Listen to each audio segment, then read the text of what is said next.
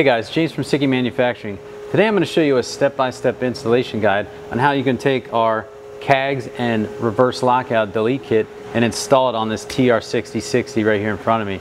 So pretty simple installation, let's get started. All right, so first step, we're going to get this CAGS removed, which is the factory, basically stands for computer aided gear selection. So it's a uh, low emissions device that allows you to skip gears when you're shifting and go from like a first to fourth gear instead of first, second, third, that kind of thing. But basically for somebody that's building a car that's, you know, performance car or something that they, you know, don't necessarily want to be putting around in or concerned about gas mileage, it's a great way to uh, eliminate this thing and make the shifting a little bit more performance feel. So we're gonna thread this guy out and then take the provided delete plug that comes in the kit from SIKKY and we're to thread that guy back in. And it's got an o-ring on it so you don't need to get too crazy with the torque on it. You just get it tight and then give it a little bit of a turn to snug it up. And it's good to go.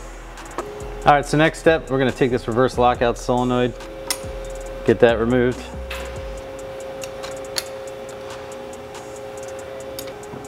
Not only do these things just help with uh, making the shifts a little bit better and easier, uh, it also lowers the profile of the transmission, so it's great for you guys doing swaps using the TR6060 to, uh, you know, give yourself a, added more room for tunnel clearance and things like that.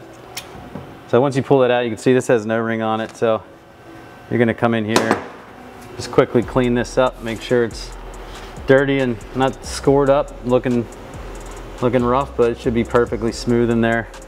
So we're gonna take a little bit of RTV, take this plug that's provided in the SIKKY kit. You don't really need the RTV, but just make sure that there's any scratches or uh, imperfections in anything that, you know, gets good and sealed up. And you're definitely not gonna need much, so I'm gonna spread a thin, paper thin layer around the profile of this, just like so, just to make sure it like I said, if there's any small little hairline scratches and things like that, that they'll be uh, sealed up. And you're just gonna place it in here, get it started, and it pretty well seats in there pretty good. And they're just gonna use like a socket or whatever you have to tap it in just like you would install any freeze plug. You, you only need to go in about 16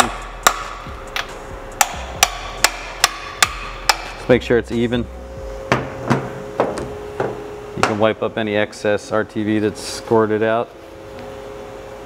And that it's officially eliminated, so you're good to go. All right guys, as you can see, very simple installation on this TR6060.